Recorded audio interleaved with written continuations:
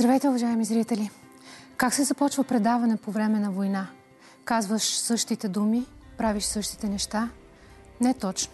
На втори план прожекционният апарат на съзнанието пуска картините с бягащите хора, бомбоубежищата и страха. Но потушаваме гледката с надеждата, че природата поне е благосклонна към човеците и ни дава някакво утешение, че и това ще мине. Защото запасите ни от бъдеще не са неприкосновени.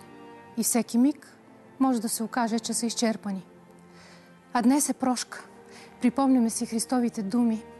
Ако не простите на човеците съгрешенията им, и вашият небесен Отец няма да ви прости. Всеки от нас е бил в онова осъзнаване, че е възможно да е казал някому лоша дума или да е поступил грешно. Все пак човешко е да се греши, божествено да се прощава. Знам колко е лесно да се каже това и колко трудно е човек наистина да загърби обидата и да забрави. Но представете си колко е трудно да се живее в гняв. Тази непростителност мъчи. Затова сега, уважаеми зрители, да спазим традицията и да поискаме прошка. И на вас казвам сега, прощавайте. Не е било нарочно, ако сме сгрешили. Вижте какво сме подготвили в предаването днес. Днес в отблизо ще видите кино у дома, но не с последно поколение видеосистема, а с добрия стар приятел на децата – прожекционният апарат в рубриката Изчезващия 20 век. Едно украинско семейство, което следва своята мисия да помага на хора с зависимости, но от седмица насам тяхната мисия да помагат на всеки, засегнат от войната в Украина – как изглеждат микрорастенията, погледнати от високо? Или защо един бивш баскетболист избра да отглежда удивителните създания? Как българите откликваме на прииждащите украински граждани в търсенето им на сигурност и закрила?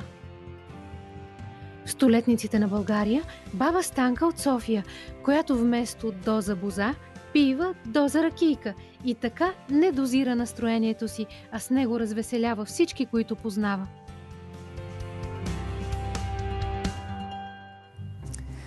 Не знам дали знаете, но в средните векове съществували разказвачи на истории, които използвали нарисувани фигури и образи, за да демонстрират на картинка описвани от тях сюжет. А пък ние в предаването в студиото ви показваме предмети, с които връщаме лентата в 20 век, за да ви демонстрираме вещите, които са на път да изчезнат.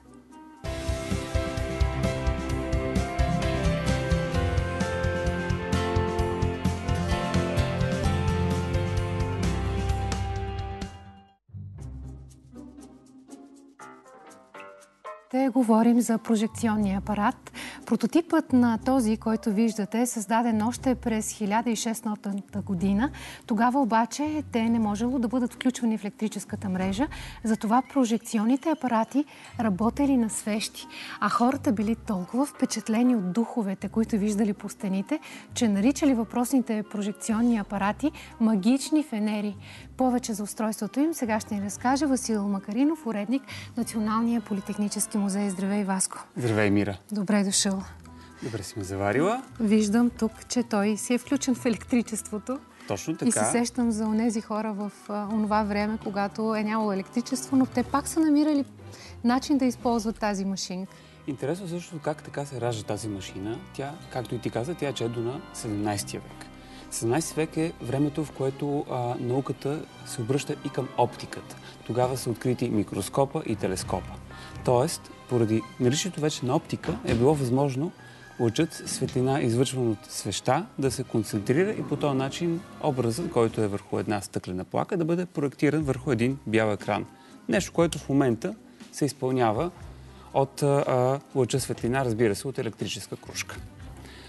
В ако се върнем обаче малко по-назад във времето, е хубаво да си отговорим откъде това нещо тръгва цялото. Всъщност той идва от така наречената камера обскура или тъмна стая. Това е всъщност способност на, на образите да бъдат проектирани в едно тъмно пространство. А, интересно е, че това нещо е използвано и през 15 и през 16 век от художници, за да правят а, изображения много точни, както на пейзажи, така и на портрети. Така че това е една много-много ранна технология всъщност, която, разбира се, продължава и през 20 век. И, и между другото, до ден днешен даже е модерно вече отново да се връща тази технология. В Унгария знам, че има цяло производство на, а, на филмчета за, за прожекционни апарати. Точно така. Всъщност интерес към, а, към ранната техника от началото на 20 век не е нещо, което, което трябва да ни очудва, даже напротив. А, все пак в днешното технологично време хората непрекъснато се обръщат и към аналоговите технологии като нещо, което е може малко по-близко до нас, по-човешко. А, и заради това не случайно тези уръчета все още на някои места функционират и както виждаш в случая работят. Конкретно това нещо е уръче от 60-те, 70-те години. Много са били популярни за прожектиране на приказки. В случая това е една приказка за Комалиса, която всъщност имаме една филмова лента, позитивна обаче, не негативна, за да бъде получено позитивно изображение с равните светове, което, минавайки през а, окуляра, се прожектира върху един бял екран. А, а, аз си спомням, но кажи на нашите зрители как се прожектира, върти се ръчно ли? Точно така, всъщност в всяко, а, всяко кадърче от тази лента е отделен епизод от а, приказката и всъщност с ето тази ръчка, малко по малко всъщност въртим и прожектираме отделни, отделни картини с кратък текст по тях. Благодаря ти много, че ти всеки път идваш тук, за да ни разказваш своя разказ и своята прожекция към предметите от 20 век. Благодаря ти много, Васко. Аз също благодаря.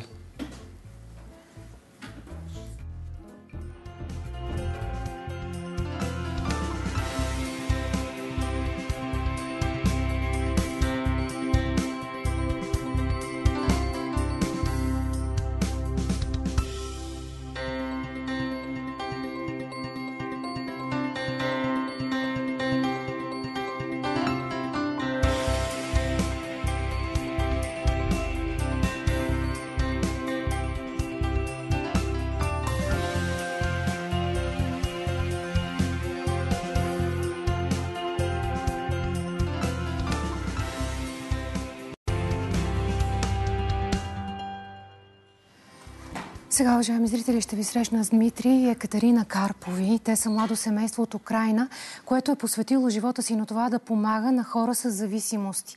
15 години двамата се занимават с помощ за пристрастени към вредни субстанции в Украина. После идват и в България, преди 5 години идват тук, когато в Пловдив откриват специализиран център за зависими. Последните дни обаче те посвещават живота си на това да помагат на свои сънародници, които имат нужда от убежище у нас. Сега ги каня тук в студиото, за да поговорим за това. Кате, Дмитрий, заповядайте. Много ми е драго да ви видя отново в студиото. Здравей, Кате. Заповядай. Надявам се, че сте добре. А, вече имате своето детенце. Последния път, когато ви видях това студио, ти беше в очакване. А да сте живи и здрави. Други майки обаче сега са в много тежка съдба, пристигайки от Украина. А как вие точно помагате на вашите сънародници? Но първо, което ние правим, ние им помагаме те да стигнат до някаква граница от с Укра... Украина с Молдова или Румъния, защото това е най-големия проблем. Сега доста тежко положение, инфраструктура разрушена и това е първо, което ние имаме доброволци, които ги посрещнат на ЖП гари, с коли, карат ги до граница, помагат те да пресечат граница. И вече втори етап ние организираме транспорт от граница вече насам тук в България. Тоест някой, ако има нужда, може да потърси и нас, и вас да ви намери, така че да докарате някои хора, ако са решили да бъдат в Плодив или в София. Да, разбира се. Вие преди 5 години идвате в България, преди 8 години обаче започна този конфликт и се усещаше, че нещо може би ще се случи. Ние тук казваме, не можем да повярваме какво се случи. Вие можете ли да повярвате? Усещахте ли го, докато бех, бяхте там? Не, абсолютен шок за всички, защото но, никой не е очаквал, че чак до такова сериозно втържение може да, да, да стигне. Да се стигне. Какво ви разказват вашите приятели в Украина сега? Гледайте, те в такъв шок и страх, че те просто, ну, кога ти събуждаш се от взривове и кога ти принуден да бягаш и даже не вземаш втора дреха със себе си и ти просто под стрес. Повече от тях, които идват, те много изплашени и те не могат да приемат някакви логични, адекватни решения по пътя, защото страх. И те говорят, че, например, днес аз говорих с едно момче и той ми говори, аз няма къде вече да се върна. Той ми говори, моя, моята къща, която ние купихме преди една година от нов строеж в Гостомел, вече я няма. И те реално гледат сега напред. Какво, къде, как могат да устроят своя живот някъде. Някъде. А как ли обясняват на децата си какво се случва? Вие се занимавате с подрастващи, с тинейджери. Как се обяснява на едно дете какво се случва? Знам за една майка, която му казваше на детенцето, че участва в някакъв филм, че това е измислица, че не се случва. Кое е по-правилното? Според мен тук ситуация стигна такива мащаби, че не е възможно вече да излъжеш. То когато е, налага се децата да се крият в бомбоубежища и просто без дните наред, без вода, без светлина, аз мисля, че не е възможно вече да криеш. Ако, е, както вие казахте, още 14-та година можеше някак да го скриваш, то сега вече но не е възможно. И според мен е най-честно и за децата, е, за да разбират и даже да имат като подкрепа е, за родителите си, трябва да кажат истината. Аз, например, сега съпровеждам едно семейство, който от Запорожие, майка с две деца, които искат да, да излезат извън Украина. И тя ми говори, че две денонощия те опитали на ЖП гара да влезнат в поне някакъв влак. Говори, че то такава навалица, че смачка тези деца. А едно дете, което малко. И тя просто две денонощия непрекъсно опитвала да влезне влак и не може. И тя говори, аз сега се върнала обратно, ние сега малко ще наспим и ще правим втори опит. Единствено сега начин как да тръгнат, е, най-безопасен, обаче и ЖПГари атакуват, за съжаление. Да. Това е влакове защото повече мостове разрушени и с коли по-опасно да тръгват. ако ги посрещат окупанти с коли, направо ги грабят, ги, някои убиват хора, някакви просто изчезват, изчезват или по край поле тръгват. Не е ли тогава по-безопасно бомбоубежищата? Исках да ви питам, кога построиха всички тези бомбоубежища? Какво представлява едно такова нещо отвътре? За съжаление не е чак толкова много приспособени бомбоубежища, които наистина тази, за тази цел. Много хора просто се крият в мазета.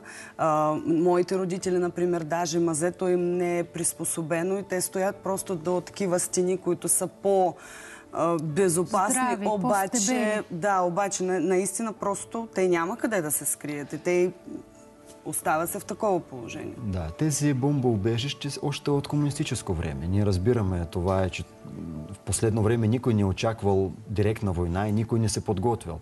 И за съжаление има няколко градове, големи областни градове, които с разрушена инфраструктура, критична, които вече от 4-5 дена нямат нито топлина, нито ток и нито вода. И даже какво е да бъде добре бомбоубежище, ако ти там вече стоиш една седмица, Представям си как влияе на психиката от това Ужас. затворено пространство, без електричество и без вода. Ужас. Бремени раждат бомбоубежище. Може би вие видяхте тези снимки в Киев най-голямо място, това е, е метро, метрополитен. И те там стоят просто на пода и раждат в метрополитен. Да, на 1 март се, се роди едно бебенце там. А, какво ли следва от, от тук нататък? Какво смятат вашите близки там? Ще вземете ли родителите си тук?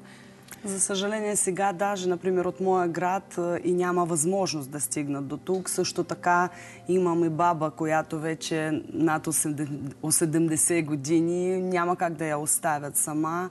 И затова не, моите родители взеха решение, че остават там. Но с тези хора, които идват, има част от тях, които завинаги идват. Това, което аз казвах. Има част от украинци, които искат да се върнат имат такава надежда и повече от тях се отсядат в някакви пригранични зони. Или в Молдова, или в Румъния, или тук по край Варна, тези места. Но тези, които стигат до нас, това е завинаги. И нашата цел, може, аз имах среща с кмета в Пловдив, ние говорим за това, какво следва, как да ги социализираме да. тук. И едни от задачи да организираме някакви езикови курси, да организираме им разрешение за работа. Защото днес Европейския съюз прие това положение за една година за украинци без визов режим в цяла Европа, но трудово законодателство. Трябва да получат статус беженци. След подаване на заява 5-6 месеца разглежда този, това, тази молба. И това е такива елементарни неща, които ние можем да осигурим училище за деца да продължат да учат, да осигурим детски градини, за да майки, които идват, да например, да с две деца, могат да, да работят. С жилище, слава на Бога, помагат българи много. Някакви приемат ги вкъщи, някакви дават своите апартаменти. По-трудно да вземеш под найем, защото хора страхуват. И аз разбирам това е. Да дадеш под найем апартамент за беженци, защото ти не знаеш на какви хора ще попаднеш. Тези, които ние посрещаме, ние гарантираме просто със своето име. Ние говорим, че за това семейство ние гарантираме е, да, но не можеш да познаваш всички, които Абсолютно. искат убежище и дали с тях не се прокрадват и други, които имат mm-hmm. по-тъмни намерения. Ние малко по-късно в предаването ще имаме експерт в студиото, който ще отговори на много от въпросите, които вероятно си задават чужденците, бежанците, а именно а как се започва нов живот на ново място за толкова кратко време след такъв огромен психологически шок. Как се започва от начало? Ето това, което ние правим. Ние ги подкрепваме. Защото има няколко стадии, които преминава човек. И най-първа стадия, когато това е всичко започнало, това е стадия на отричане. Той просто, ну, той не може да приеме вътре, че край, че ти станал беженец, че ти нямаш вече къща, че всичко, което ти натрупал в един момент изчезнало, че ти трябва в някаква чужда държава, къде ти даже не разбираш как говорят хора, нещо да, да, да живееш. И първа стадия е отричане. После това, когато те разбират, че наистина така става, идва стадия за една като депресия. Разбирате, те изпадат в такива тежки състояния, плачат много хора. Просто и това, което ние правим, освен уреждане технически, психологическа подкрепа, ние, ние им казваме, слушайте, ние ще ви помогнем. Ние тук заради вас. Всичко, което ние имаме, вие имате това също. Всички нашите приятели ще ви помогнат. И ние организираме нашите познати да грижат адресно за семейства. Те, какъв ид... смисъл адресно? Те идват, например, има семейство и идва някаква група от хора и те просто помагат директно на това семейство. Те грижат за тях, покриват тяхните Като нужди. Като поемат отговорност точно за това семейство. Разбирам. А, и вече следваща стадия, когато те ще се вмъкнат в общество, започнат да работят и така нататък. Но за това трябва един-два месеца, не по-малко. Предполагам, че сте, вие сте видели гостоприемството на българите mm. а, и не сте изненадани от всичко това, което се случва. Толкова ми е мило, когато виждам хора как отиват с личните си коли, дават пакети с храна най-напред, после после превозват. Около 17 хиляди са за сега в България хората, които идват от Украина. Как виждате, защо, защо, не, защо не избира чак толкова много България? От какво ги е страх тук? Най-вероятно, защото България вече е следваща държава след а, граници но най-вероятно защото е по-трудно да се стигне. Да, се стигне. да, да. Не, Просто че... хора избират веднага там. Не, на, наистина българския народ е уникален и такова, такава подкрепа, такова радушие. Просто наистина хора се очудват, че, но и казват, навсякъде ни приемат много добре, но тук някак душевно ни приемат и това е наистина много важно. Като от сърце и за хора е много важно такава подкрепа. А, Братя сме, сестри сме, всички сме брати и сестри, но особена почет и уважение изпитваме към украинския народ. На вас много ви благодаря. Вие също сте уникални. Имаме много да си говорим с вас и за вашите други богоугодни дела. А, днес е голям християнски празник. Бъдете живи и здрави. Ще се виждаме отново Благодарим в а, това студио. Сега, уважаеми зрители, понеже животът е радост и тъга, следва рубриката Небивалици да се отпусне малко и да отворим една голяма скоба, за да ви разкажем за едни много малки растения. Става дума за страстта на някои съвремени градинари – микроземеделието. Микрорастенията са едни много миниатюрни, покълнали листни, бобови или други зеленчуци. Следващият репортаж разказва за един голям човек, висок човек, често приличава на Гъливер в страната на микрорастенията. Вижте. Нали си представяте, ако сега се връщах от селската нива, че зад себе си трябваше да влача и магаре с каруца, на която да натоваря цялата тази продукция. В микроградината на Влади обаче ето така изглеждат 300 репи дайкон. А за да ги отгледаш не ти е необходима скъпа работна ръка, а по-скоро с ръчни пръщета. Какво е, Влади, това при теб? В тази кутийка имаме микроброколи. Колко са? Около 500. Микрорастенията покълват на минимална площ, но разгръщат цялата палитра от полезни вещества и изключително наситен вкус. А колкото и да не ви се вярва, тяхното култивиране започва в страната на големите мечти, или по-точно в Чикаго. Затова и никак не се очудвам, че у нас пионер е един също толкова голям човек. Владислав Танев е бивш баскетболист. Микро и макро растенията, познати и като растения бебета, го грабват преди 5 години. Влади, каква е разликата между микро и макро растенията? Предполагам, това са микрорастенията. Това са микрорастенията, малки зеленчуци в първата си фаза на растежа. Може би седмица, две най-много. Макрозеленчуците биха били е, отгледани в градината. Те дават по-големи листа, по-различен вкус, по-наситен, докоснати от слънцето. И е, затова ги наричам макрорастения. Ама те, тези нямат да родят никога плод, нали? Не, те са още в детската форма на растеж, първата фаза, така че никога няма да станат по-големи от това, което са. Това е момента за идеална консумация. Изрязват се с ножиска и се добавят към супи, ястия, сандвичи, смути. От всяко семе ли може да стане микрорастение или много зависи от това какво е семето? И предимно се отглеждат зеленчуци. Зеленчуци от салатен тип. Не може домати, картофи, да кажем всички от семейство кръстоцветни може. Репички, горчица, по-скоро синап, слънчоглед, грах, броколи, различните кейлове. Слънчогледа е интересно растение, което като голямо растение ние не се храним с теблото и листата на слънчогледа, но като микрорастение е прекрасна добавка към салати и сандвичи. А, например, за да си обогатиш салатата с този вкус, колко ти трябва? Може би половината от, от една такава кутийка, може и по-малко, всеки сам си определя. Нали, какво а от тази кутийка веднъж като си го подстрижеш, ще пораснат ли отново? Не, или... все пак имаме едно семенце, едно стъбълце, едно растение, но вътре в една такава кутийка може би има около 300-400 семенца, така че вкусът е доста наситен и, и силен, така че добавяйки, добавяме снопче. Процесът на покълване при всички микрорастения е сходен. Посяват се в около 4 см пръст, навлажняват се и се оставят. Едни на тъмно, други на светло. Всеки вид за определен период от време. След седмица изглеждат така. Бърз процес, който няма сложна процедура, но има някои древни детайли, като затискането на семенцата с друга кутийка, за да могат всички дружно да пораснат равни и да нямаме разлика в височината на, на самите растения. А това означава ли, че всеки от дома с повече усилия би могъл да си направи такава микроградина? Разбира се, всеки може. То е лесно, ефтино и бързо. На пръв поглед човек не би разпознал от какво семе е микрорастението. Нямат изразен мирис, но с много по-богат вкус. Значи това първото е ряпа дайкон.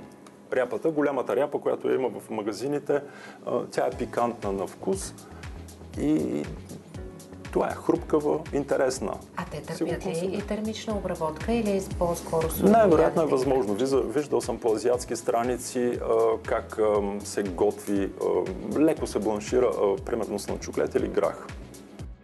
Влади не се бори за слава, защото вече притежава десетки медали за храброст от най-известните готвачи у нас, които предпочитат микропродукцията му. Иска му се обаче да популяризира идеята за градското градинарство. Аз познавам такива хора, които в София организират, има няколко сдружения, които организират, така да кажем, градини. Едното от тях е градини за дружба. В дружба има огромен парцел, който е разпределен между хората, които участват. И а, там всяка, всеки ден хората ходят, работят си, дори не всеки ден, който, когато може. Изисква само малко повече колаборация между тези, които организират тези групи от хора и хората в общината да, да си комуникират. Тоест, общините отдават за ползване терени, които хората доброволно превръщат в плодородна земя за собствени нужди. Ставаш рано сутрин и вместо в мола отиваш да прекопаеш нивата. Предимствата – продукцията си е твоя, с гарантиран происход и биологично чиста, а кръгът би могъл да се затвори, ако има и повече фермерски пазари, на които хората да реализират своята продукция. А как от спорта и то от баскетбола се избра точно тези малки растения? Не те ли е страх, че дори може да ги настъпиш? Баскетболистите са големи хора. Не, не. Все пак отглеждам ги на стилажи, но не знам, може би харесват ми пипкавите неща, които, които ги няма в магазините, които както казах, готвачите ги търсят в началото, но ги нямаше. Има ли тук в микрорастенията конкурс, както например най-голямата тиква? Не, няма. Ние сме четирима, петима човека в цяла България, които отглеждаме. Заповядай. Благодаря ти, Влади. Нали знаете българската домакиня как се се оплаква, че са изложили в турбата нещо, което не е толкова качествено, а микрорастенията винаги са с изключително интензивен и много наситен вкус.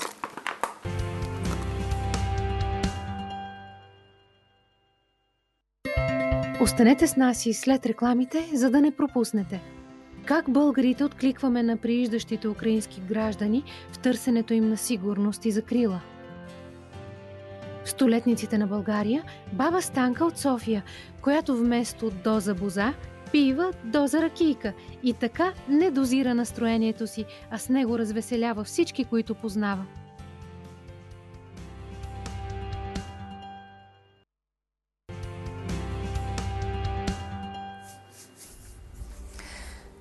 Един милион са украинците, които избягаха от суровата и безпощадна действителност родината им през последните 10 дни. Хиляди от тях потърсиха обежище в България. Повечето за сега отсядат при роднини, както разбрахте и от разговора преди малко, най-вече в морските ни градове Варна и Бургас, където е най-значимата като численост украинска диаспора в страната ни. Други избират България заради близката култура и език или защото пазят добри спомени, трупани в мирни и светли времена. Косара Николаева разговаря с две семейства беженци и видя отблизо как се справят хората в сумрака на тези дни. Това е Валентина, майка на три деца, момичета. Разговорът е в превод, така че едва ли ще доловите трепета в гласа й. Страхът обаче е в цялото й тяло. Него не може да скрие. Изморена превита, настръхнала от ужас. Не крие войната от децата си, колкото и малки да са те. Трябва да помнят. Това никога не трябва да бъде забравено, казва Валентина. На нас ни намериха една къща. Имам близка приятелка в България. Първо отидохме при нея. Понеже Маргарита, средната ми дъщеря, имаше вчера рожден ден и моята близка организира празника. Затова първо отидохме при нея, защото ние дойдохме само с дрехите на гърба си, които имахме. Искахме да се преоблечем.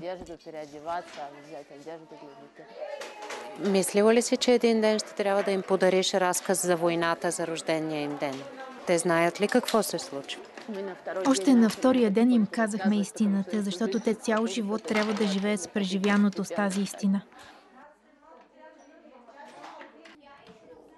Още докато бяхме в Киев, една ракета попадна в съседен блок, жилищна сграда, която е много близо до нас. Намира се до площад Севастопол.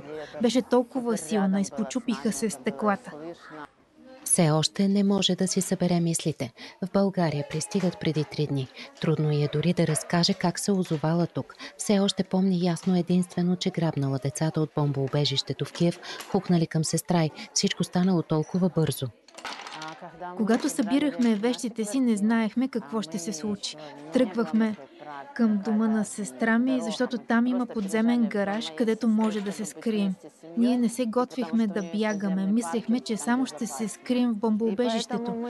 Затова взехме само топли дрехи. Ако аз знаех, че ще бягам в друга страна, бих взела съвсем други неща. Мислила ли си, че този конфликт ще се случи? Може би последната седмица, когато руснаците започнаха да събират военната техника на нашата граница, си помислих нещо, че на изток може да се случи нещо, но не конфликт в този мащаб. Аз по принцип и сега не мога да повярвам, че това се случва. Как ще измиеш спомена за това, което ви се е случило? Това не е възможно и даже няма да се опитвам. В България Валентина е заедно с майка си и трите си момиченца. Най-малката е Еля, Маргарита и най-голямата, която тренира черлидинг. Вера е шампионка на Украина. Маргарита отскоро се занимава с художествена гимнастика, а най-малката само бели прави. Надява се да успее да намери треньор или отбор, в който двете момичета да продължат да тренират, защото това ще е техния смисъл да преглътнат всичко, което предстои да изгубят. Кого оставихте в Украина? Баба, дядо, много приятели и близки хора.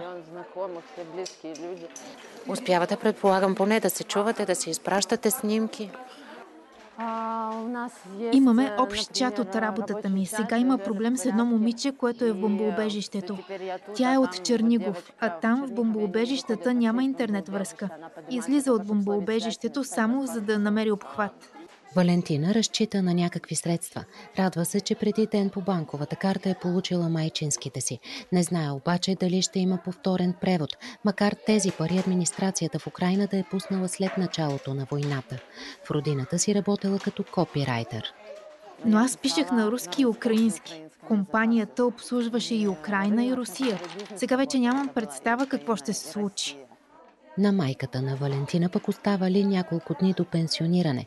Няма да може да подаде документи на този етап. Няма и да получава заслужената си пенсия. Треперят, но когато са заедно прегърнати, все още имат сили за усмивки.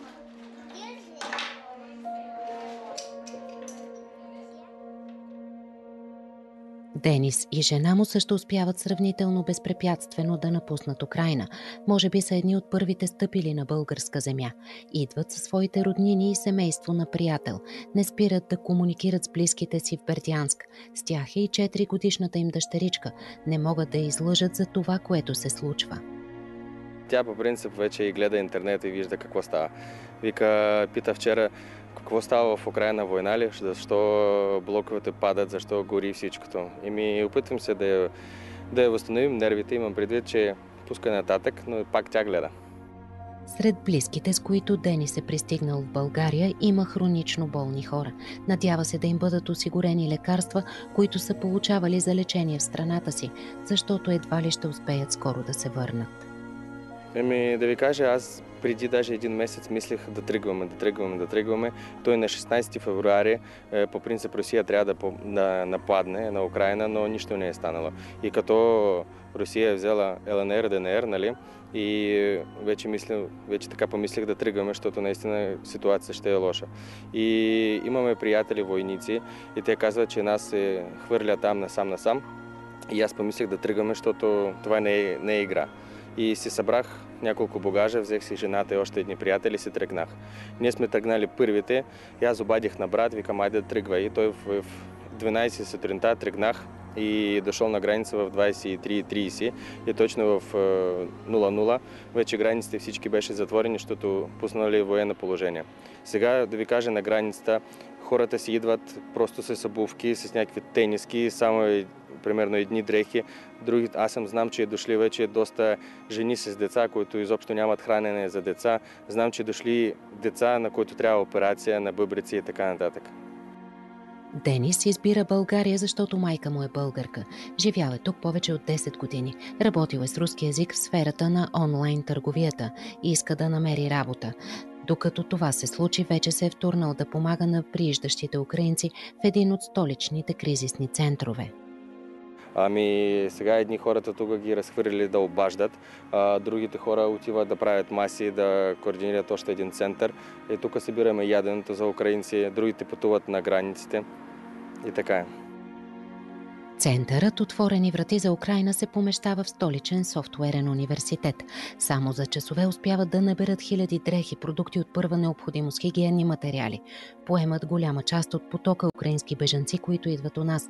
Помагат им с транспорт, психологическа подкрепа, храна. Вече са открили и дневен детски център. Непрестанно търсят начин и един друг мотивират себе си след безсънните нощи в името на една единствена цел – Казват, в момента българите са изключително добронамерени към украинците. Искаме бежанците да могат да намерят работа. Ще организираме и курсове за преквалификация. В името на това да предотвратим момента, в който хилядите бягащи от войната биха се превърнали в тежест за българската държава.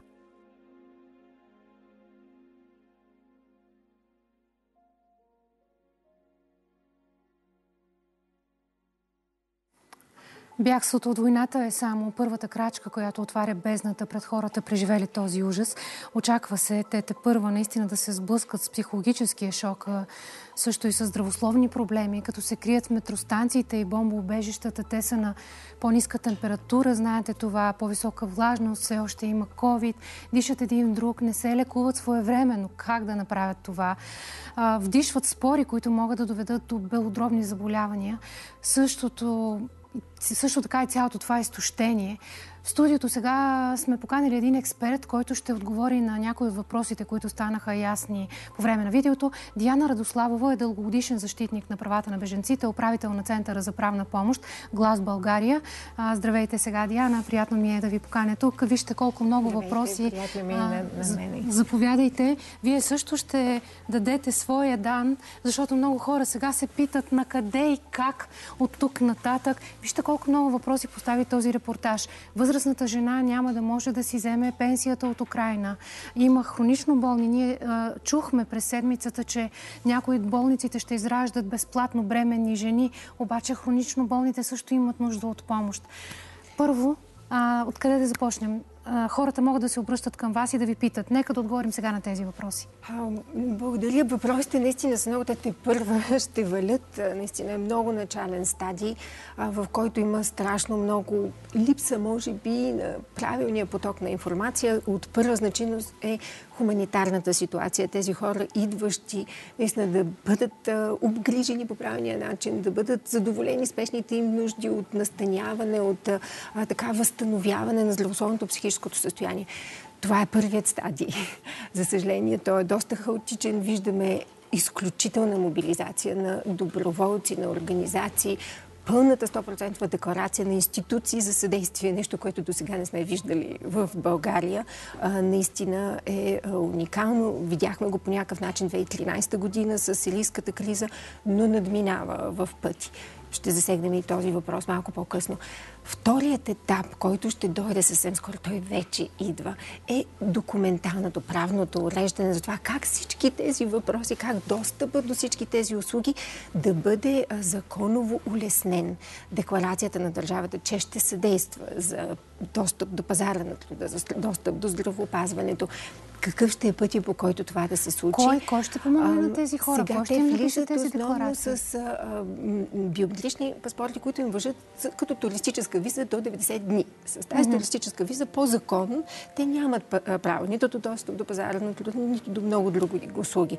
Въпросът е, че за сега а, функционира общия ред не много от украинските граждани все още са го направили това кандидатстване за официално, за хуманитарен статут или за международна закрила, което става в центровете на Държавната агенция за беженците, за да могат те да бъдат регистрирани, да им бъдат взети пръстови отпечатъци, снимки и да се започне процедурата, по която вече статута им от туристи да, да мине в търсещи закрила и евентуално много бързо в вече получили такава закрила. на 4 март бе прието на европейско ниво решението за активност активиране на временната закрила директивата, нещо, което до този момент не е ставало в Европа. Чакаме изявлението на Министерски съвет, как това ще се въведе в България, но идеята е цялата тази процедура на кандидатстване за закрила, която ако е по общия ред, тя ще отнеме по от един, два до 5-6 месеца на човек с издаване на индивидуален административен акт за даване на статут да бъде улеснена. Т.е. да има само един регистрационен процес, в който хората да получават пълния набор на статут и документ за това, различен от техния международен паспорт, който най-вероятно ще минава през Държавна агенция за беженците или през Министерски съвет. Ще видим как точно ще бъде уредено, за да могат тези хора вече да получат един друг така наречения личен номер на чуждене с който да бъдат регистрирани в НАП, да започне социално осигуряване, да започне достъпа на децата до училища, много ключово и детски важно. Градини. Могат ли детски градини, тези по-малки дечица да постъпват в български детски градини? Би трябвало веднага да могат в момента, в който те са регистрирани и родителите имат този легален статут, те би трябвало да имат пълния достъп до целия аспект на права по начин, по който го имат българските граждани. Могат ли украинските пенсионери да си изтеглят пенсиите от България? В момента знам, че никой украински гражданин не може да изтегли нищо в гривни, защото буквално банкова... банкоматите не преработват тази валута. Тя е срината. Как това наистина ще бъде уредено в бъдеще, нямаме никаква идея. Това Ако са е... имали еврови сметки там в, на, на територията на Украина, не могат ли да изтеглят евро в България? Би да трябвало да това са вече последващия етапи mm-hmm. на економическия аспект на всичко това, което се случва, което ще бъде дългос... дългосрочният ефект. Как ние като държава наистина ще интегрираме тези хора, защото, както чух и по-рано в предаването, много от хората, които стигат тук, те ще останат. България през последните 10-20 години е поддържала съвсем си умишлено имиджа на транзитна държава.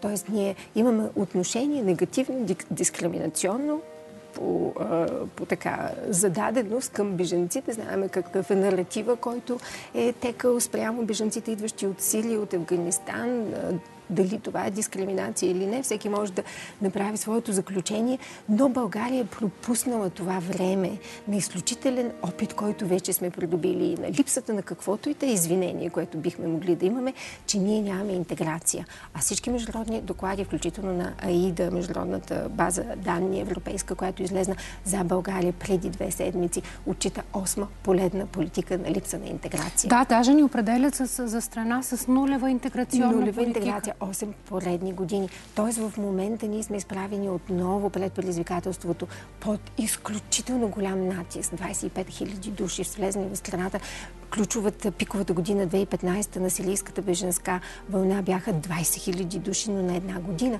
Сега ги виждаме за 9 дена. Тоест как в тази криза България, българската администрация ще направи наистина този преход към интеграция от ден първи. Защото тук наистина нямаме избор. Ние трябва да започнем да ги интегрираме. Вярваме, че тези механизми, които ще се изработят, те ще предизвикат и цялостно преосмислене на миграционната ни политика, защото тя трябва да бъде преосмислена осмислена цел. И всички ние като НПО сектор алармираме за това, че в спокойно, в тихо време, каквото имахме, ние трябваше да направим това цялостно преосмислене. За сега това не е направено, сега ще го правиме. Обаче, много, в много бързи темпове. В много трябва. бързи темпове вярваме, че това ще дигне критерии спрямо всички останали групи беженци, защото на нашата врата в офиса на приемно време а, миналия вторник чакаха както сирийско семейство, така и афганистанско семейство. И аз съм длъжна да се отнеса към тях по абсолютно еднакъв начин, защото те идват от война. Войната е война. За първи път обаче ние наистина усещаме толкова близо. И наистина може да се поставим в обувките на човека, който бяга. Много странно. Наистина не го направихме през 2015 за сирийските афганистанските бежанци. До някъде... Защо, как си го обяснявате вие? Обяснявам си го с отдалечеността, с чужденеца. Той е чужд. Докато тук усещането за чужденец някак си е прескочено. И това е нормално, аз го разбирам. Пък и Европа но, и християнска държава. Но християнска държава прави на другия това, което искаш той да прави на теб. Тоест, ние сега можем да си представяме, ами ако на нас се случи, ами ако след две седмици ние се наложи да бягаме. Всеки си го задава този въпрос. Децата ми седат и гледат на вините и го питат. Тогава вече нашето отношение става различно и самото демократично общество, от което твърдим, че сме, ние не искаме да го загубиме. Това е битката за точно това демократично общество, което ние искаме да устоиме. То ни задължава да имаме тази недискриминационна политика и отношение и отвореност на интегрираност на миграционната ни политика, ето именно поради време като това. Време като това, което пък показва, че човещината може да бъде поставена най-отгоре и преди всичко. Вярвам да го задържиме. И дай Боже. Ами, дай, дай Боже. Боже. Благодаря ви много, че вие бяхте в нашото студио, бяхте от полза. На нашата фейсбук стена ще изпишем вашите координати. Всички Всеки може украинци. да се обърне към нас. Имаме подробна информация на сайта на Държавната агенция за беженците, на сайта на Хелзински комитет има подробна информация, така че вярвам, че ще имаме. Ще можете да помогнете. Благодаря ви а, много за това гостуване. Сега, скъпи приятели, понеже предстои рубриката Столетниците на България, използвам повода да ви информирам как върви кампанията за набиране на прежда, с която 102 годишната баба Дора плете дарове в помощ на майки и на деца с увреждания. Ами, невероятно върви. Благодаря ви за грижливо опакованите кашони, пакети, които пристигат а, през цялата седмица в редакцията на предаването. А, изключително много ви благодаря, уважаеми зрители, за добрината ви. Баба Дора е безмерно щастлива и работи усърдно. А ето, готови са първите шалове и ръкохватки, готови са първите възглавнички. Както, както виждате тук. Тя, разбира се, все още плете, плете. Можете да изпращате още прежда. Адресът е София 1000, улица Сан Стефано 29 за предаването отблизо с Мира. В финалните надписи на предаването ще видите и телефон, на който може да се обадите, ако искате нещо да питате. Сега, уважаеми зрители, трябва да ви призная, че само до преди 11 дни аз а, вярвах, че столетниците, които интервюирам, са последните хора в Европа, преживели война. Толкова често ми разказват спомените си от прелитащите над главите им куршуми, гранати. Показват ми как са стреляли с пушките, как са се крили в окопите. 100 годишната Леля Станка, която ще видите сега, по време на Втората световна война е била доброволка в една от големите софийски болници. Била е медицинска сестра и е промивала раните на ранените войници. А дойде време, в което точно в Европа пак прелитат куршуми и се стрелят ракети. Това връща болезнен спомен на всички, но и на все още живите столетни хора. Въпреки това, Леля Станка пожелава всеки да доживее до 100 години, защото, казва тя, каквото и да ти се случи, каквото и да ти дойде на главата, все пак животът е най-хубавото нещо. Иначе Леля Станка е голям шемет. Така и определят близките й, се гледат да се заболяват заедно, а тя ги учи да приемат нещата на майтап, да не се задълбават много-много в трудностите. Тогава животът е лек и е хубаво да се живее. Скъпи приятели, вижте Леля Станка Стефанова от София. Или е много приветлива и разговорлива Леля Станка, или по цял ден нещо си мрънка. Наскоро опитала да свали пердето, да го сложи за пране, но не успяла и това станало повод настроението и да се помрачи. Вече е на цели 100 години, но така изглежда сякаш още 100 и трябват да се умори. Не само пердетата пере, а и шие, чете вестници, излиза на разходки. Даже е душата на компанията в кварталното кафене, където често сутрин денят ти започва с една малка ракийка. Добре дошла! Жива и здрава да си да стигнеш и надминеш моята възраст. Ако е рекал Господ, дай Боже да е рекал. Благодаря ти много, много, много си хубаво. става човекът стане на 100 години. Така ли? Ами екстра. Никой не така да работиш. Готвят те, носят те. Е, живее само и това е. Все още си поддържа градинката Леля Станка, радва се на задаващата се пролет и ме подканя да си набера нейните кокиченца. Близките и никога не са я виждали да се кара с някого или да заплаче пред тях.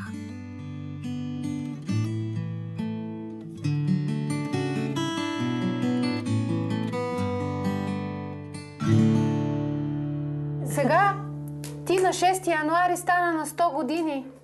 Можеш ли да ми кажеш какъв е смисъл от живота?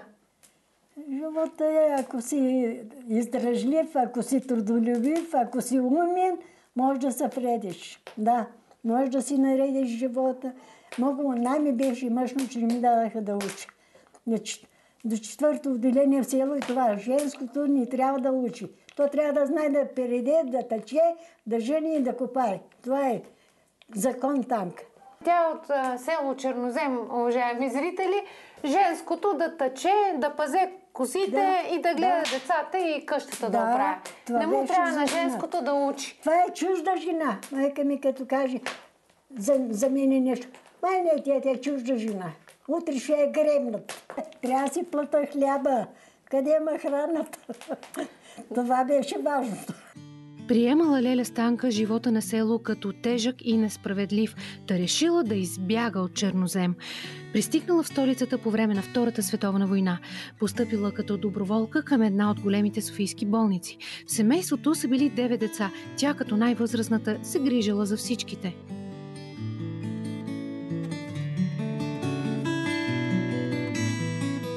И в селото, кой пострада нещо, идва при мен. Змия го хапала и идва при мен. Аз веднага бинтовам кръка горе, кръвта да не се раздвижва. Как съм хващала живи змии. Живи пепеленки. Ма как пепелянки? Ама кораж с такова бе. Жива змия. Само от нея вида, пръчка една си носих, тук малко така. Читалка. Така? И като е надена да я хвана така за главата, тя не може да мъртва. През кръста, като е удар, вече край. Няма Е, добре ми те. Аз ще на тук заглушата и който дойде на мен.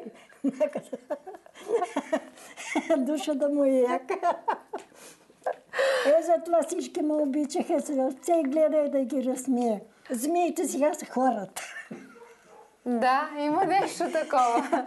Бях с една съквартиранка, повече от кобра беше. Ай! Е, как се справи с тая кобра? Къде върза винчината? Мълчението, търпението бе. Аз съм се родила с адско търпение. Не е бил лек животът на Леля Станка. Сама отгледала двете си деца. На 34 години вдовица останала. Мъжът й бил електротехник. Починал при трудова злополука, при токов удар. Дъщеря й се родила с множество заболявания. Останала неподвижна до края на живота си. Леля Станка неотлъчно била до нея.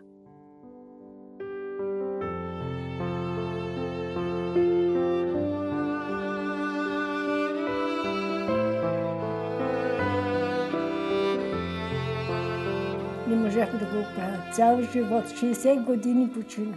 Цял живот на друго да го гледаш. Да не дава Господ на никой такова. Но така ми в 7 месец по, е, постъпват, взимах да мажим стаята сама. Всичко сама исках да вършим. Всичко. Мъжът ми беше като кукла у къщи. Да, мъж е, ама той е свикнал вече така се грижи някой за него. И това е. Идва отвънка, сваля пълтото и го метни на някой стол. Няма край закачалката, ще мине, няма да го закачи. Ти за какво си тук? Аз за какво съм се женила? Това. Така беше. Така беше. Но пак как ривах като умре. за какво съм ривала, аз не знам. Е, аз ако не разсмея, някой ще пипна. Ти дори с коронавируса се шегуваш. Какво викаш, настигнате този вирус? Настигна му, ще файн друг път. Нали си казах, внучката реве, седнала до мене, реве и ме пита при сълзи. Бабо, ти какво предпочиташ? Гроб или кремация? Аз викам кремация, баба, а на он си викам, има да взимате. Опованието и в Бога помогнало на Леля Станка да мине през тежките житейски изпитания. Попска внучка е тя, израснала сред строгите порядки на християнското семейство. Аз, откакто почина дядо Поп, тия новите не са ми по воли. Като ги гледам обути с панталони, с джинси, с дънки, това не са попови. Отбръснати. Такъв ли беше дядо ми? През целия си живот Леля Станка била шивачка и днес обича да е издокарана, без прическа и облечена подобаващо и до днес навънка не излиза. Сред клиентите и на опашката за изкусни туалети се редели много хора и известни народни певици да им шие туалети. Днес Леля Станка се радва на голяма фамилия. Две внучки, три правнучета и едно великолепно породисто куче. Не спазва диети, пива ракийка, но цигара не е палила през живота си. А колко хора е играла! По повод своя 100 годишен юбилей, поканила всички роднини и приятели в ресторант. До един и половина през нощта празнували. И така, Леле Станка, заредена с настроение, прекрачила в своето ново столетие с готовност да покаже на всички, че старостта може да не е трагедия. Ако сега някоя твоя близка има рожден ден, ще й пожелаеш ли да стане на 100 години? На всички пожелавам. Не е лошо. Не е лошо. Радост съм на живота ви. Колкото и да си стар, винаги се радва. Винаги има какво да радва. Иш не се отчаивай. Защото аз имам една книга за столетниците и там заглавието е Столетниците, благословия или Орисия. Какво е за теб столетието? Благословия или Орисия? Майче и двете. Орисията най повече. Виждам, че също така на масата, освен задължителните бомбонки, сладичко, разбира се, има и нещо, на което ти държиш. и аз много държа на това нещо. Някой сутрин, като ми е кофти, малко само една глътка, ама Не минавам без нея. Имах една друга столетница. Тя беше на 104 години, баба Бисера, първата ми столетница. И тя вика, викам, обичаш ли бабо да пиваш? И тя вика, не че обичам, ама се налага. налага се.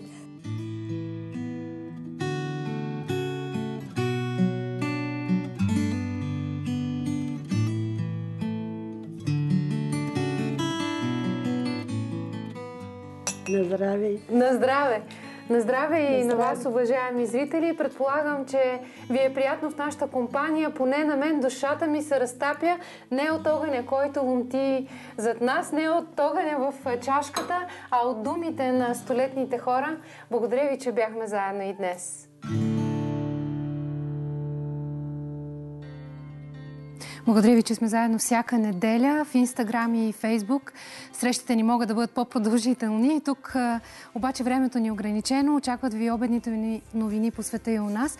С вас ще се видим отново следващата неделя, точно в 11. Довиждане!